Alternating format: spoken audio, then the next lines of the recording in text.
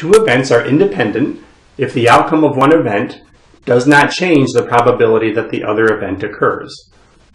If two events are not independent, we say they are dependent. So if you flip a coin and a die, the outcome of the coin has no effect on what happens with the die.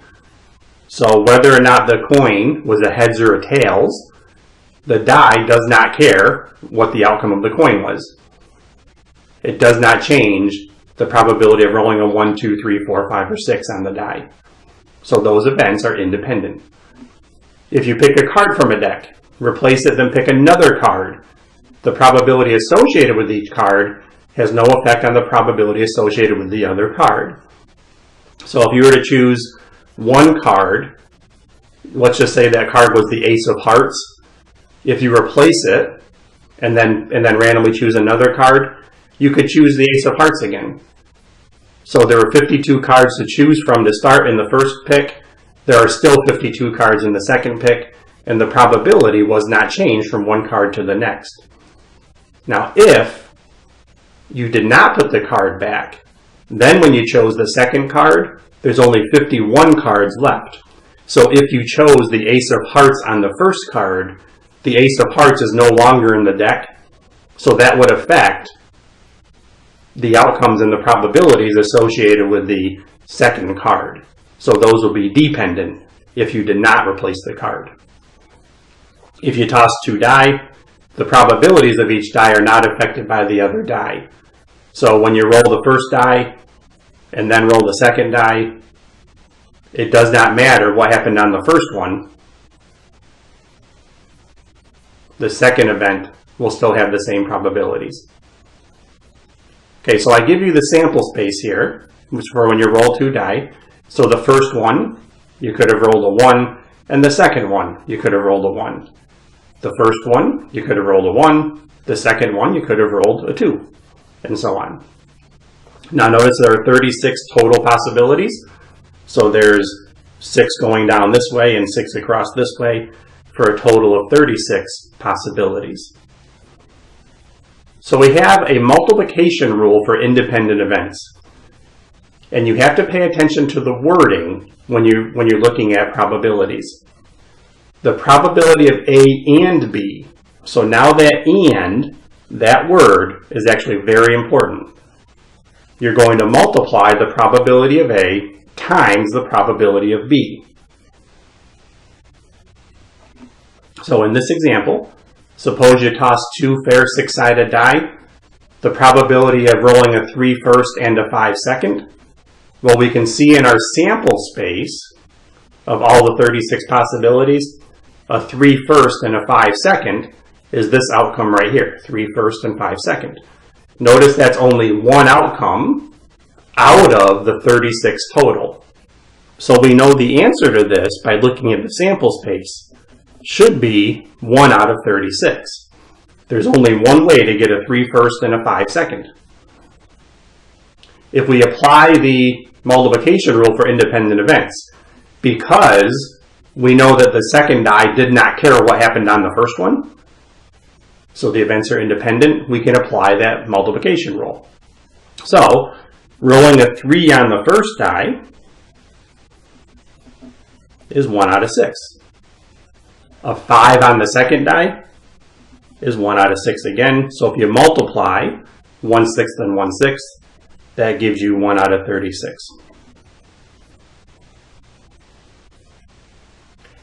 On part B, a similar case, 1 first and a 1 second. Looking at the sample space, we see 1 first and, and a 1 second. There's one possibility out of the 36. And similar reasoning for the multiplication rule, rolling a 1 on the first is 1 sixth. A 1 on the second is also 1 sixth for a probability of 1 out of 36. Okay, and then in part C, now we're going to roll an even first and an odd second. So rolling an even number first. Well, half of the numbers are even, or 3 out of 6 and, so we're going to multiply, and odd on the second one is also 3 out of 6. multiply straight across. 3 times 3 is 9, 6 times 6 is 36. That's how you multiply fractions. So you get 9 out of 36. Now that does reduce to 1 fourth. Now notice you could have also just said that 3 out of 6 is 1 half times another 1 half will give you 1 fourth right away. If you look at the sample space, an even first and an odd second, if you look at the even first, that could have been getting a 2 first, a 4 first, or a 6 first. Well, just getting an even first, notice that's half the prob half the possibilities because this entire row is rolling a 2 first, this entire row is rolling a 4 first, and then this one is 6 first. But we also have to get an odd on the second. So the ones with an odd on the second row would be this one. Rolling a 2, then a 3, a 2, then a 5. Or you could have rolled a 4 and a 1, 4 and a 3, and a 4 and a 5. So those three, and then these three, 6 and a 1, 6 and a 3, 6 and a 5. So notice that is 3, 6, 9 out of the 36. Okay, which gave you this fraction right here. Okay, and then an even first and a 3 second. So an even on the first, well that probability is 3 out of 6 again. And, so we're going to multiply a 3 on the second. Well, a 3 on a second, there's 1 3 out of 6 possibilities. So 3 out of 6 times 1 out of 6 is 3 out of 36, or 1 12th. Okay, so getting an even on the first and 3 on the second, well, it has to be, getting a 3 on the second has to be one of these in this column here, getting a 3 on the second. So which of those have an even first? Well, the 2, 4, and 6 are even on the first and 3 on the second. So there are 1, 2, 3 of them out of 36. Notice the 1 and the 3, 3 and the 3, and 5 and 3 would not have counted in order to get an even first and 3 second. Okay, so that's using the multiplication rule for independent events. The only other thing I want to point out is you have to really be careful with the wording. And notice I specifically said three on the first and five second. So they have to happen in that order. If you just said the probability of rolling a three and a five, you have to look at it as you could have gotten a three first and a five second, or you could have gotten a five first and a three second. So the probability of rolling a 3 and a 5 in either order, and this is where you got to be very careful and, and understand how the question is being asked and what it wants. Rolling a 3 and a 5 in either order, you could have you could have gotten the 3 and the 5, which is right here. So there's one case. Or you could have gotten the 5 and the 3. So notice that there are two possibilities out of the 36 which would just be adding 136 plus 1, 1 out of 36. So basically you would, you would do this twice because either order implies you could have gotten the 5 first and the 3 second. So you just have to be careful with the wording on that. When I word things, I will generally specify what happened first and what happened second, just to avoid that confusion. Okay, on the next example I give you, it's a little more complicated. So the probability that a person in the U.S. is left-handed is about 17%. So when you when you choose one person out of the population, the probability they're left-handed is about 17% or 0.17. Three Americans are selected. Okay, so now you're going to randomly choose three people. Find the probability that the first person is left-handed. Well, the way you want to look at this, you're choosing three people. Okay, so I, I kind of just write placeholders, first person, second person, third person. So if the first person is left-handed, what had to happen on the first person? When you chose them, they had to be left-handed. So the probability that first person is left-handed is 0.17. Okay, so 17%, which is 0.17 as a decimal. Okay, so that first person had to be left-handed. Now again, you have to pay attention to wording. The probability the first person is left-handed. Notice they said nothing about the second two people. But you're still choosing three total. So no matter what here, you're choosing three people, but it didn't matter what those last two people were. So those last two people, they could have been left-handed or right-handed. So you can look at that as just saying you have a 100% chance of choosing the second two people. And I know that seems a little weird, okay, but with the wording of this question, if the first person is left-handed, it didn't say anything about the second two. Okay, the other thing I want to point out before we go on is that when you choose three people, even though we're not putting the person back before we choose the second person, we can treat them as independent events. And the reason is we have a very large population that we're choosing from. So we can treat events as independent. Now, technically, they're not, because when you choose one person, if you don't put them back, it, it does change the probability of what happens on the next person, then the next person. But because there's uh, there's approximately three, over 300 million people in the U.S., so when you choose one person and don't put them back, the probability does not change um, significantly. It, now it does change, but just not significantly enough for our purposes. So, so the so a concept here is if you have a large population, then you can treat events as independent, even though technically they're not. Okay, if you don't quite understand this first one with the times one times one uh, times one there, hopefully the second one will clear it up for you. Find the probability that only the first person is left-handed. So we're going to choose three Americans.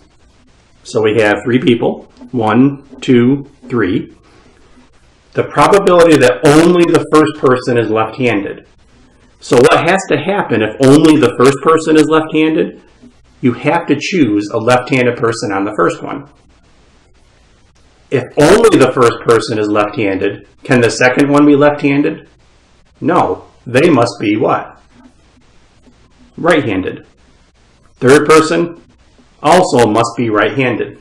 So this is the only sequence you can get where only the first person is left-handed. In the first example, we didn't care what the second two people were. We just wanted to make sure the first person was left-handed. But now what we're saying is you have to choose a left-handed person first and then a right-handed person second and third. So we have 0.17 for the left-handed person and then the complement of 0.17 will give you 0.83. So that's just 1 minus 0.17. Okay, so if you go through and try the next several for the sake of time, do the same thing as I did here. You read the question and you think about how can I get what I want. So the probability the first two are left-handed, you have to think about what has to happen when you choose the three people for the first two to be left-handed.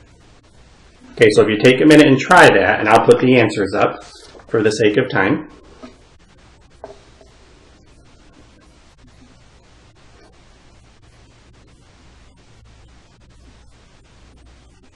Okay, so the first two left-handed, you have to get left and left.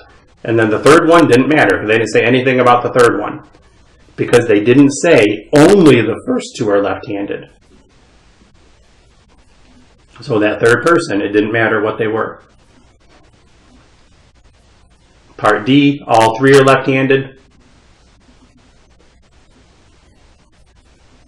And then the last one, or the next one, none are left-handed. Well, if none are left-handed, they all have to be right-handed. And pause the video if I'm going too fast. Okay, just want to keep it shorter.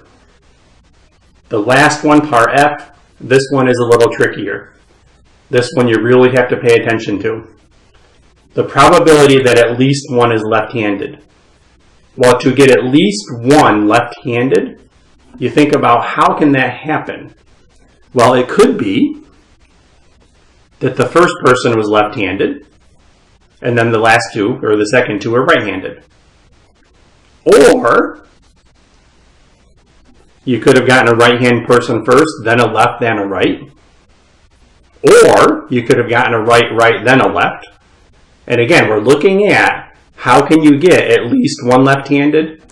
Well, at least one could be one or two or three left-handed. So there's a lot of different possibilities there. And these are all the different ways that you could have gotten at least one left-handed. So those first three is getting one left-handed. And then the next three are getting two left-handed. So LLR, LRL, and so on. And then the very last one, you could have gotten all left-handed. So each of those cases represents at least one left-handed. So what you can do, you could go through each of these probabilities and find them. So LRR, that'd be 0.17 times 0.83 times 0.83.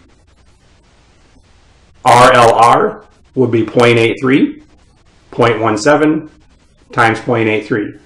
You could find each of those probabilities and then add them together because you could have gotten this sequence, or this sequence, or this sequence, or this sequence, and so on. Now that's a lot of work. Well, we can do this another way would be using the complement. Well, the complement of at least one, notice the only thing missing here, when we choose three people, one, two, or three, the only thing missing is zero people. So choosing zero left-handed is the complement of choosing at least one left-handed. So we can use the complement rule. The complement of at least one is zero. So if x is the number of left-handed people, what we're looking for is x to be one, two, or three. Okay, so one or two or three left-handed. The complement of that, the only thing missing, is zero. So we can use the probability of zero left-handed, which means they're all right-handed, right and right and right, multiply those together, you get 0.5718. Now that's the probability of zero left-handed. We're looking for at least one. So we have to use that complement rule where we subtract that probability from one and we end up with 0.4282. So if you would have added each of these sequences probabilities together, or the probability of each of these sequences together, you would get 0.4282. Okay, so that one is a, is a lot trickier. At least one is, is very tricky.